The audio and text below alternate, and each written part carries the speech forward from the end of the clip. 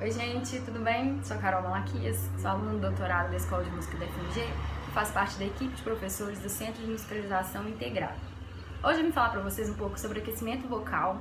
Na verdade, eu vim trazer algumas opções de aquecimento que vocês podem fazer sempre que vocês forem cantar em grupo, coro, grupo de casamento, ou mesmo para você que queira passar a quarentena fazendo música e soltando a voz.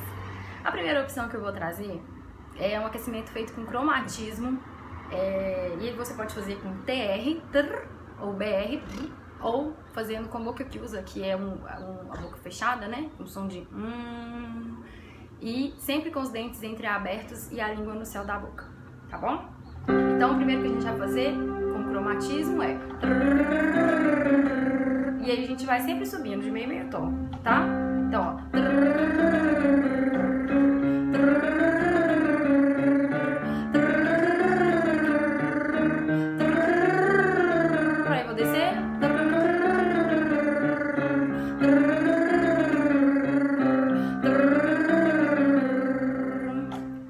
Dó central, que era o dó que eu tava.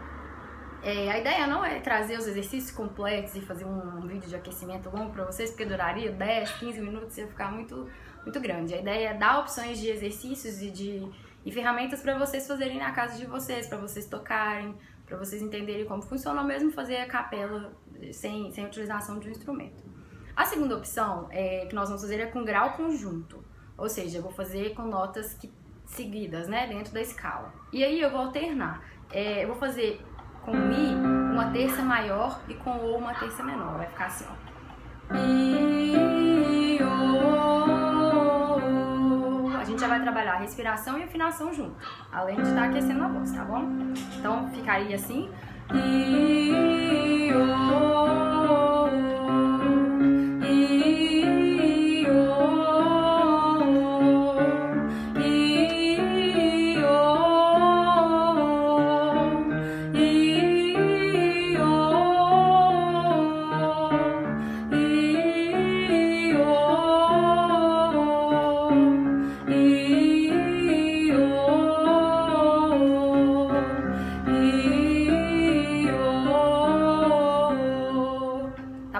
Mas e a dúvida? Até onde eu vou? Até que nota eu vou? A gente vai aumentando a amplitude do aquecimento aos poucos. Então, por exemplo, esse que é grau conjunto, mas é o segundo aquecimento que a gente faz, a gente não vai chegar a um oitavo, não vai chegar subindo muito para não machucar a voz de qualquer forma. Então, sempre que vocês forem fazer exercício de aquecimento, vai aumentando a distância, pensar no repertório que você vai cantar naquele dia, então, é, geralmente a gente sobe um pouquinho mais do que o repertório que vai ser cantado para que tenha conforto, um conforto maior na hora da gente cantar o repertório mesmo, né? E à medida que for passando os aquecimentos, a gente vai aumentando então a tessitura e a extensão dele dentro da nossa voz. Lembrando que não, não ultrapasse os limites para que você não machuque. Se você é contralto, não vai chegar numa região de soprano que provavelmente você vai agredir sua voz ou você não vai conseguir ou vai sair gritado, tá bom? A terceira opção de aquecimento é, que a gente vai fazer é, tem movimento descendente e a gente já vai fazer com cinco notas. É isso aqui, ó. Viol, tá? Então, ó.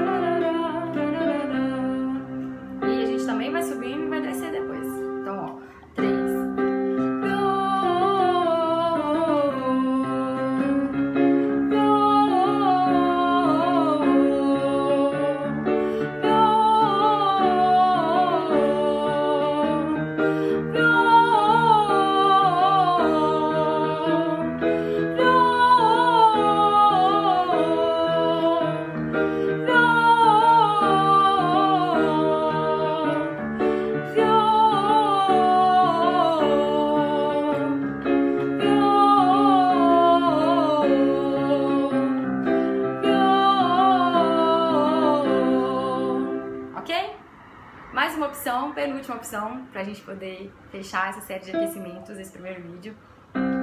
É, vai ser um aquecimento um pouquinho mais rápido, que é Vou fazer em câmera lenta, ó.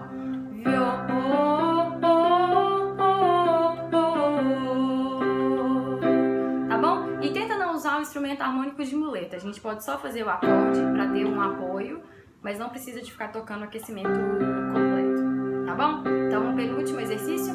Violão,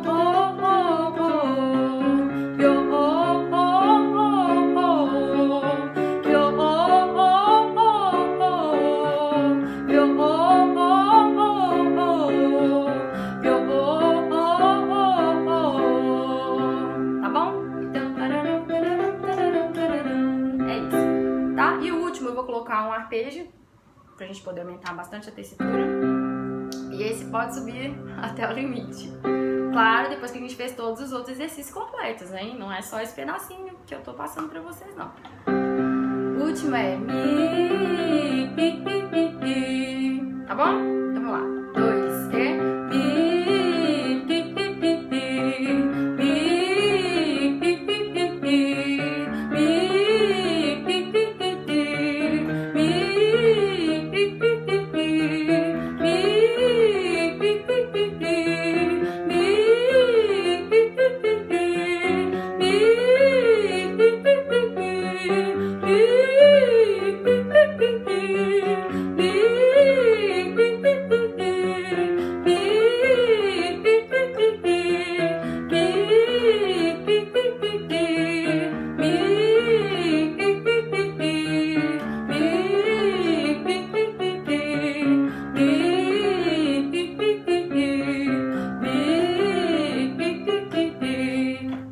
Vai descer, vai voltar, vai subir, vai voltar, tá bom? Espero que tenha ajudado.